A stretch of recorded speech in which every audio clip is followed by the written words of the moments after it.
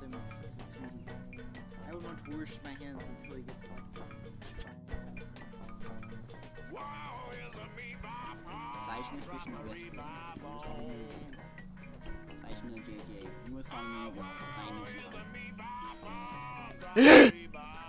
John, John Quincy Adams, uh, he's uh, he's better than Mumford and Sons.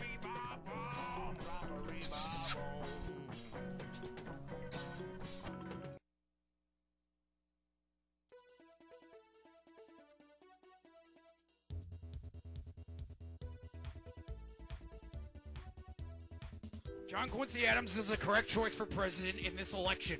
Being Secretary of State under James Monroe, he has lots of experience. He has negotiated many treaties in his time being Secretary of State, including the Florida Treaty, which allowed the U.S. to buy Florida, Stop it, the Treaty of 1818, which settled land issues between the U.S. and England, and the Reich Treaty which removed British troops John from around. Greeks. He is considered one of the best diplomats of all time. In addition, he is a supporter of the American system, having a national bank and higher tariffs to generate more funds for the government.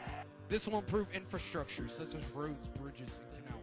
He will work to eliminate slavery as he is strongly against it. These normal, everyday people are just like you, and they're big supporters of John Quincy Adams. But don't just take their word for it. Here's a few quotes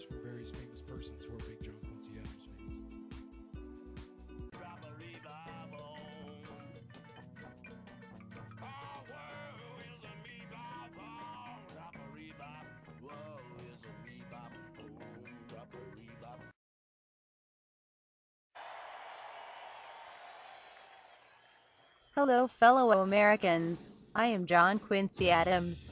You may know me as Secretary of State under James Monroe, and primary writer of the Monroe Doctrine, which proposed that European countries stay out of countries in the Americas.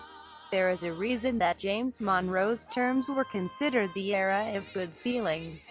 And it is because of my help. There has never been a better diplomat in history than me. As a president, I plan to keep my same philosophy of peaceful negotiations with other countries in disputes, as it has worked in the past. But don't just think that I'm only good with foreign affairs. As a president, I plan to ratify the American system, which will improve this country greatly. It will establish a national bank, which will create a unified currency throughout the country.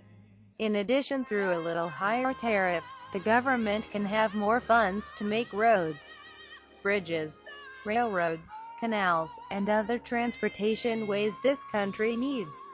I propose better relations with the natives and, as an opponent of slavery, in my term as president, I will work to abolish it, as it is wrong. So, citizens, when you go to the polls, think, who will be the one that wants to protect your country and improve upon it, not Andrew Jackson, not Zachary Taylor, not Grover Cleveland, not Calvin Coolidge, not Woodrow Wilson, not Gandhi, not Zachary Taylor, not Benjamin Harrison, not Nixon. So who will be there? Me.